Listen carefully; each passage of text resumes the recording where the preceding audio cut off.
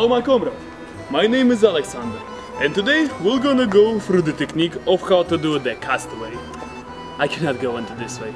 So anyway, welcome back to another tutorial. My name is Alexander and we're going through the castaway today. The requirement from this trick is to actually know how to do a backflip and all other things we're gonna see directly into the following steps.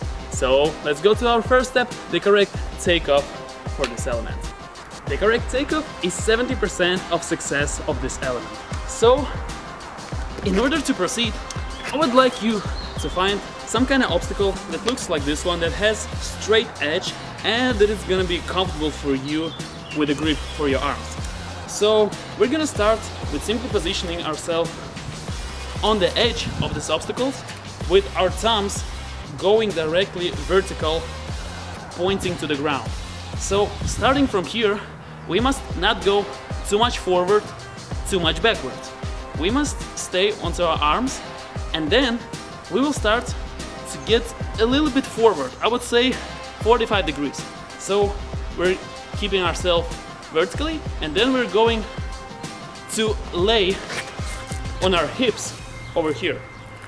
And starting from here, we're gonna go into the 45 degrees and we will try to keep our legs not straight, but we will start to bend it in order to push after to make a flip.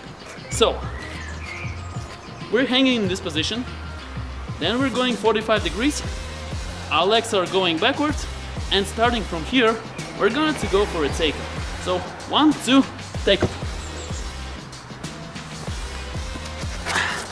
I hope this part is not really hard for you and therefore I would like to talk about the mistakes.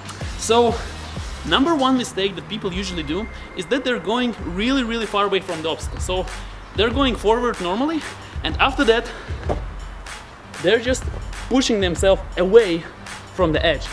This is not really correct technique. There you must have uh, you must find a balance into this thing. So you must not go really far away, but you also don't want to stay over the obstacle because otherwise you can really hit your legs while rotating the edge and this is our second most popular mistake. In order to avoid that, don't keep your arms uh, vertically all the time. You must go, I would say, 60 degrees. So the angle gonna change from this to this. And in the same at the same time, you must not lose the height of your spinning. So we're gonna go here, 45 degrees, here and here.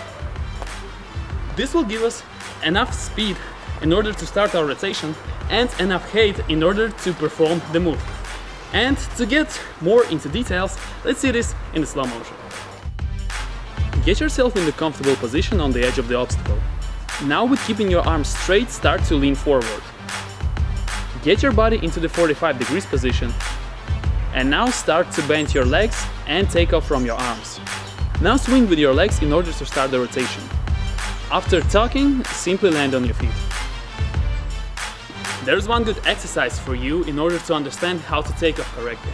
We're gonna get into the same position and starting from here, we just need to do a monkey on the block, like this. So because of this exercise, you will actually understand how to swing with your legs and how to work with your arms correctly. So once again, our thumbs pointing down over here.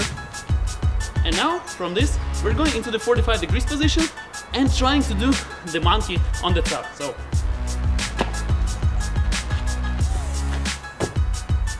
this one is pretty simple yet useful.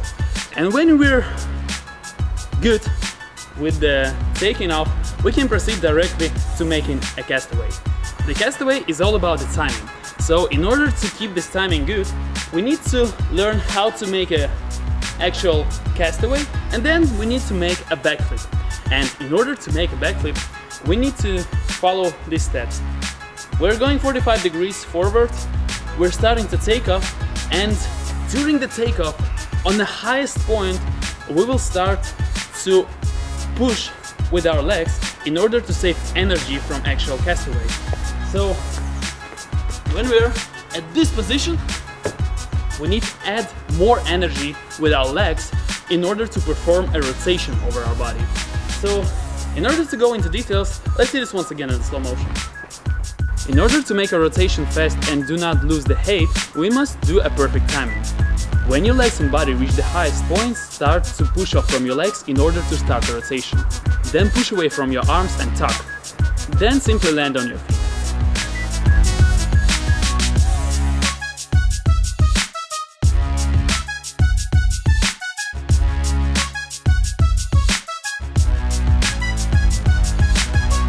There's another thing that has to be mentioned.